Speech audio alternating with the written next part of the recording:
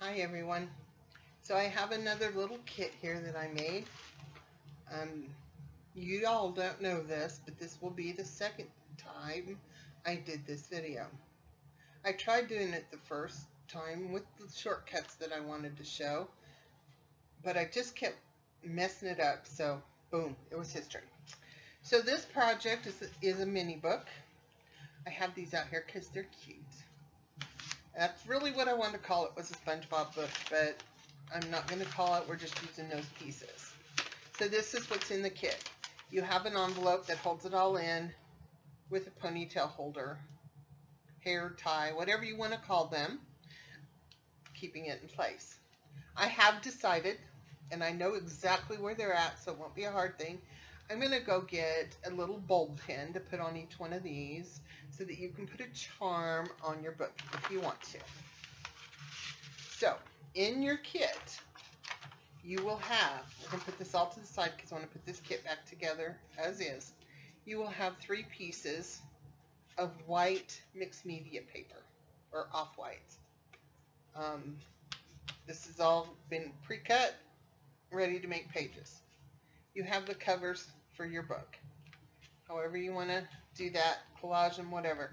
And you will have a few pieces of cardstock in varying sizes. So that is what's in the kit along with the, the, the hair tie, which is really part of the kit. The envelope is just a container.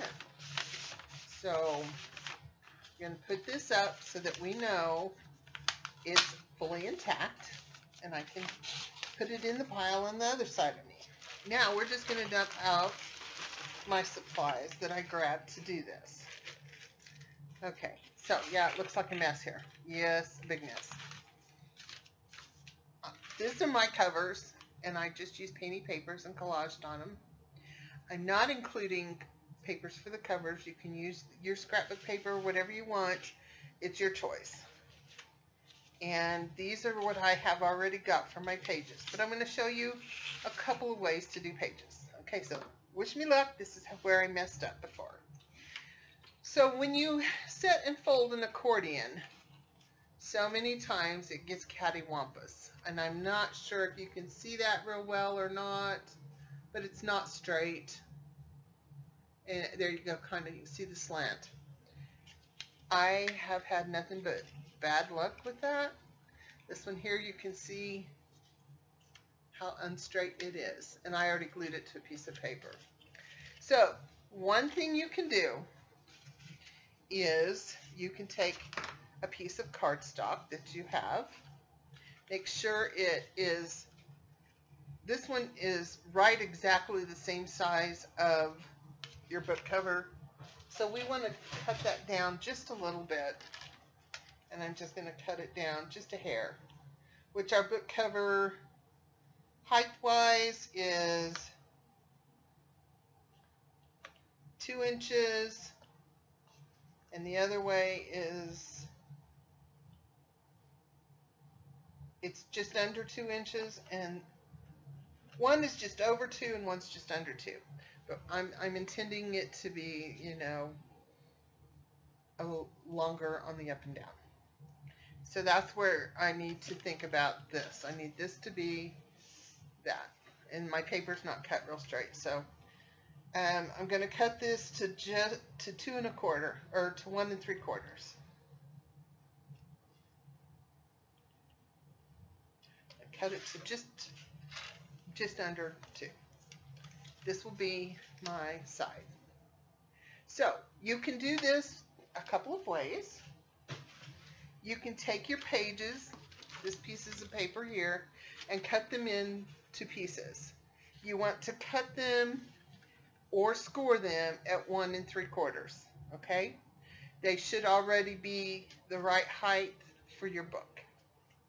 So if you do that and you have individual pages, then um, I just folded mine because I was in a hurry. So I have some individual pages. These are out of a folder, file folder, leftovers. So you could take the strip that we trimmed and you could get your scoreboard, or if you don't have a scoreboard, you can use your paper cutter and you want to score at about a half an inch. You just can do this and get your stylus, uh, dead ballpoint pen, whatever, and give yourself a half an inch. And then you can go another half an inch. I like to fold it because then I feel like I'm getting a more accurate measurement. I don't know that it matters. Accordions can be a real pain in the bottom. So you can do this and hope that your accordion comes out straight. But if it doesn't come out straight, what you can do is you can cut yourself. Okay, squeeze this in under here. Cut yourself one inch strips.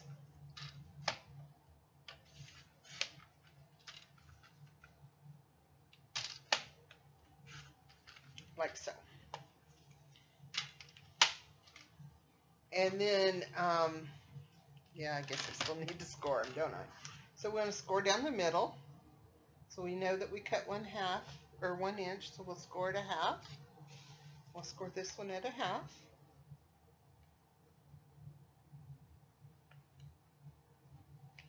So you have two pieces. Well, you want to make more than two pieces for but you need we have two pieces to start with let's put it that way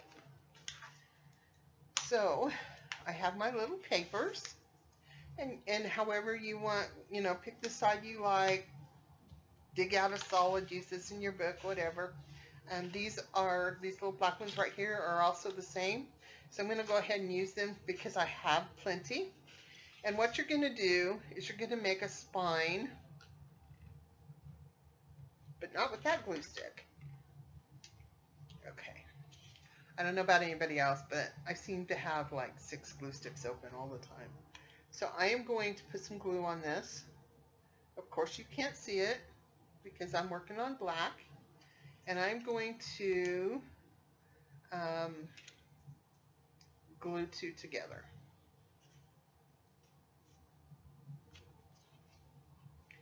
And burnish, burnish, burnish. Okay, so these are a little bit shorter. So we're, we're, you've seen how to cut them through that. We're just going to use the black. So now you know how to cut them.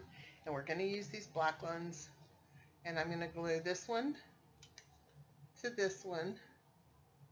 And what you're going to do is you're going to continue to glue them together until you have one more. So we have basically this will get glued to the cover and this will get glued to the cover. So I have enough for two pages. So you want, but I used three strips. So you use one strip more than how many pages you want. So I have one done here. And you could take this and you can um, glue these to your covers. Um, I would probably decorate my covers first just because it's always easier to work that way.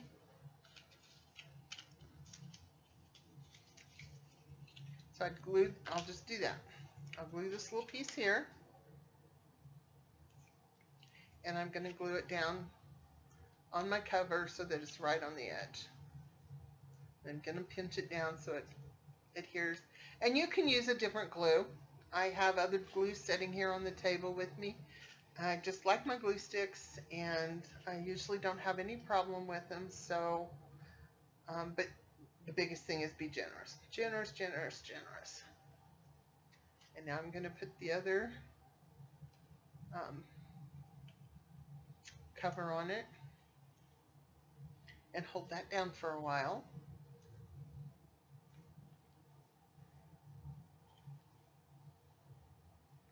So now I have a cover with an accordion spine. Can you see that? I'll show you. I have enough to do one, two, three, four pages. Okay, so these are my pages and they measure at right at two inches tall and one and three quarters wide. Now mine are folded. They don't have to be. You can cut the individual pages. What I would do now, and you can decorate these out flat, so you don't have to mess with um, doing something later, is I glue this one. I'm going to go ahead and do this. And I'm going to glue this one into this side of the, the hinge.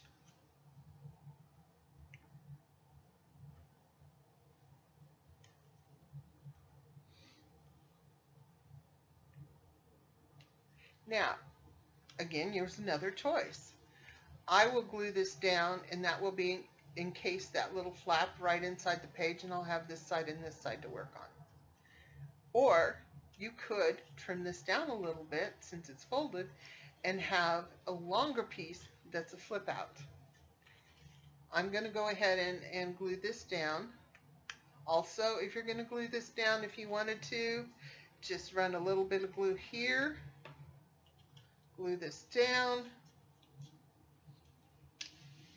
And yes, yes I did. I made this into a little pocket.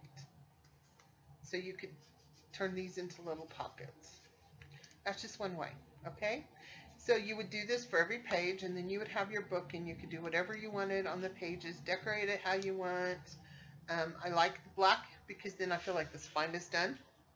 So that's one way, which actually stretched out to a couple of different ways. And this is pretty much what I've decided I want to do with this one though. Okay, I decorated my covers, which um, just the front would have been good. I didn't necessarily need to do the back because when I glue the pages in, it's going to be um, a little um, bit covered up a little bit. So let me move the cutter. And this time I'm going to score on the scoreboard. Um, I know not everyone's got a scoreboard, and that's okay. There's so many ways you can do it with a ruler and a pair of scissors or whatever. So you're going to take your paper, and I already know that one and three quarters is where it needs to be scored. So I'm going to score that at one and three quarters, one and a half, one and three quarters. This is pretty heavy paper. Again, I like to um, fold it. In fact, I usually do it this way. And I, I seem to be, I use the ledge here and here a lot, and I seem to get a better score. Maybe it's my imagination, but hey, whatever works. If I can just realize what's an inch and a quarter. I'll be all right.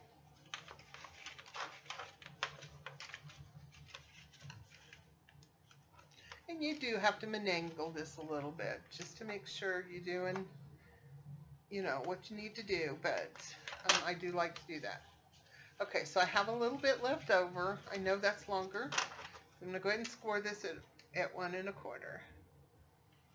And with this little bit, I end up with something like this that has a little bit. And this one has a little bit. So I will take this bigger little bit. I'm done with the scoreboard, so let's get you out of the way. And I'm going to take the glue and I'm going to put some glue on this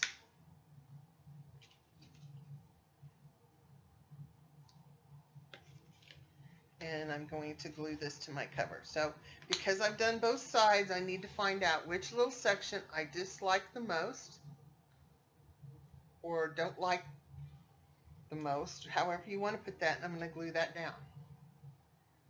So this is my book. This is the front, and these pages go like this. So this little bitty lip here, I can do a couple of different things.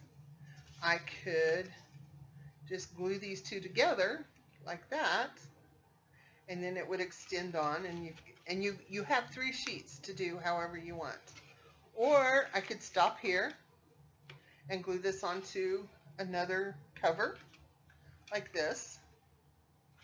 But I'm probably going to do this. So let's just let's just do it and get her done. I'm going to put some glue on that, and then I'm going to put some glue on the inside of this one.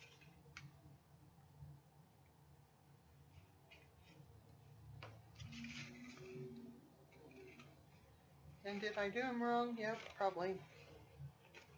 Yep. I did.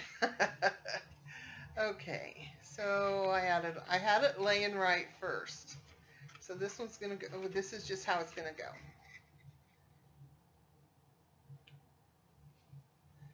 So we'll see how well it sets up. And yes, I'm getting glue all over and, and then making it dirty, but I'm going to collage or draw or doodle or something fun on it. So I'm not going to worry about how dirty I'm making the page. That's why I did it wrong, because it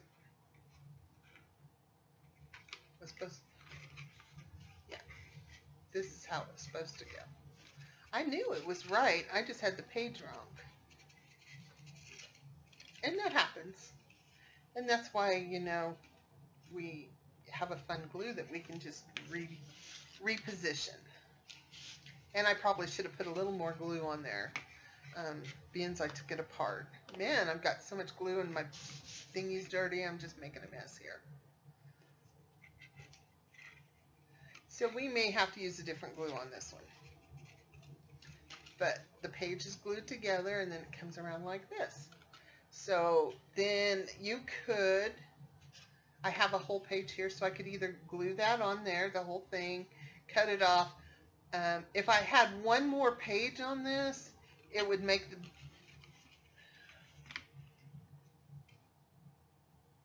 No, if I take this one and cut this down just a little bit and put glue. Now, there is another sheet I could have added onto this, but I'm stopping here because we don't we don't need to go all the way through that because it, it is sometimes it's a process because it's like well it went that way but now it's not going that way so then you choose which side you like and I like it's funny because I like both sides of the same thing so we're going to do this one and line it up and of course, you know it's not going to be a perfect accordion, but you can fix that. You can paint that edge. You can, um, gold paint would be really cool. You could use a paint marker. Um, you could put a little, um, I like this. So I'm going to cut this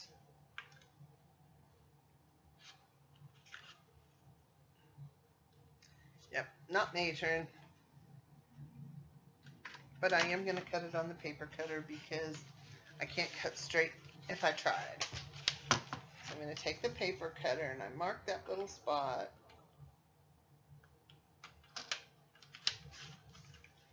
And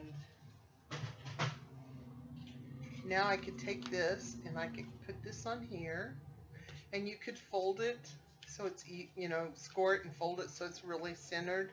Or you could let it just be kind of loose and rounded so that it's got room to give a little bit. And you can do a spine on there. Um, this is way wider than I want, so I'm going to again get out the cutting board and I'm going to trim this down a little bit.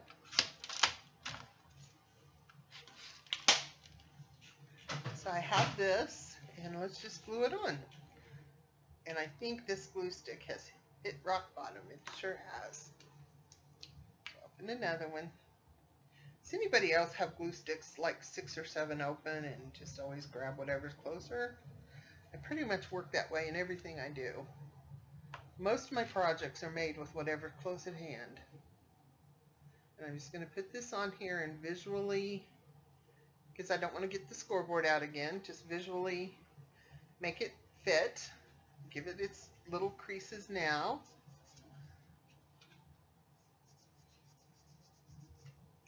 And there we go. We have a little book. Now I didn't get, um, these are stuck together because I glued the pages together. I did not glue all these together. If you wanted to glue them all together, you could. If you did not want to put a spine on them, you didn't have to. If you didn't, you would have been able to open it up long as an accordion. I want it to be like this. So what I will do is when this is good and dry, I will probably take some liquid glue And my little bottle is pretty empty. So we're just going to grab this one. Shake, shake, shake. Shake, shake, shake. So we're going to shake this down. Come on, Slowpoke. This is my Fabri-Tac. Any wet glue will work.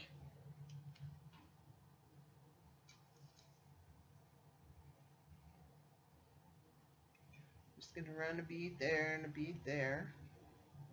Go ahead and do the other side. And I'm going to go up the center on the inside. And this I should have done before, but it's totally on how you want to do it. So now these two pages are kind of glued together. Once they're dry, you will see that I have a pocket in here and a pocket in here. And I can do the same thing with this. Or I can leave them. It's, it's totally up to you on what you choose to do, how you want to do it. Um, I will probably just glue them together. I won't make them pockets because that's just kind of what I'm thinking it needs to be. So I'm just going to put some glue in here and kind of get it where I want it on both pieces. As you can tell, I tend to, I have an idea and I, and it usually is a pretty good idea, it can usually work, but I never know what it's going to be because I just do it and how it turns out is how it ends up. Now this one, um, this kit in itself has had all the components put together, but I've never made one until today. So we're all new at this one. I'm just putting some more glue in there so it'll be nice and, and glued down all the way. So we're just going to pinch it for a little bit. And, and we know the glue needs a little time to set. And now we're going to hunt for that little ponytail holder. And going to wrap it around. And if you've got the little bowl pin, you can hang a little bitty charm. You might want to move it up a little bit. You can decorate the pages however you want with whatever items you want. If you find it's easier to um, use these for inside and something else for your spines and stuff, it's good. There's lots of extra stuff in there, so you'll find something to do with it. And I hope you enjoyed this kit. I had a really good time when these came in a donation. I knew exactly right then when I opened them up what they were going to be. So I hope you enjoyed this as much as I did. I love baby books. Have a great day. Bye-bye.